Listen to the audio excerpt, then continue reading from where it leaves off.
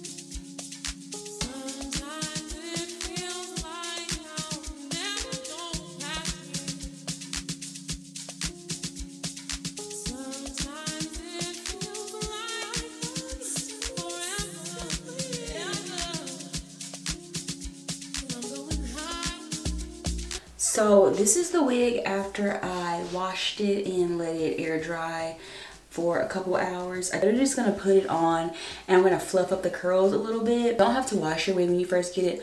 I personally just like to wash mine just to get it looking like how I want it to look exactly. Um, the lace is like so good on this wig. Look at the lace. I'm gonna tighten this elastic band a little bit before I put it on so I don't have to struggle too much with trying to tighten it while it's on my head. There's little grips on there sometimes give me a little trouble when I'm trying to tighten it. So that should be good. If not, I'll adjust it.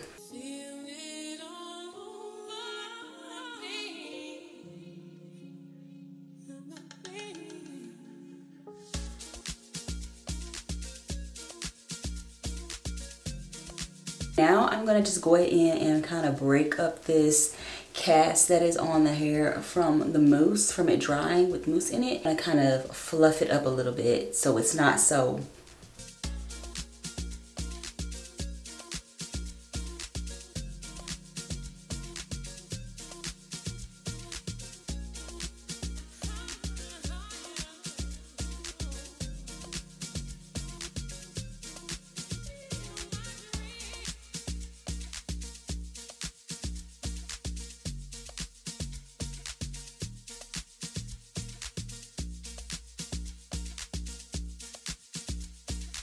So I actually think I kind of want to take my diffuser and see if I can get a little bit bigger without messing up the curl pattern too much. So let me just try that and see what we get.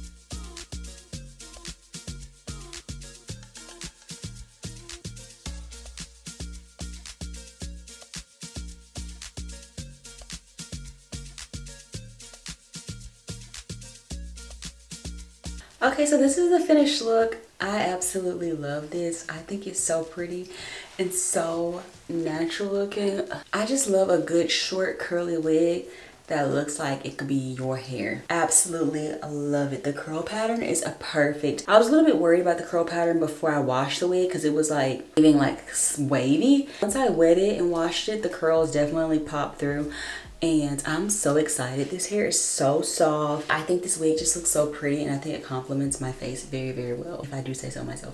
But I just think this is so pretty and so natural looking. The hair is so full, 250% density. Do y'all see? Y'all see the y'all see the 250% density, right? Like it's so full. Oh, And I love that it doesn't have like little straggly ends. It's full from the top to the bottom. Love it. I think this wig would eat, eat with layers. Like if I went in and cut it a bit and gave it like the little curly cut. But I wanted to leave it how it comes so you guys can see exactly what you'll get if you order from Wiggins. I might have to wear her for a couple days. She's so cute. I love it. I love how the lace blends in. I did put a little bit of makeup on it just to help it out. Love when wigs not only have great hair, but the lace is great as well. Like, that's a great, that's like the best combo when it comes to wigs. Great hair, great lace. Like, the fact that this wig is a ready to go wig. It's pre-plucked, pre-bleached.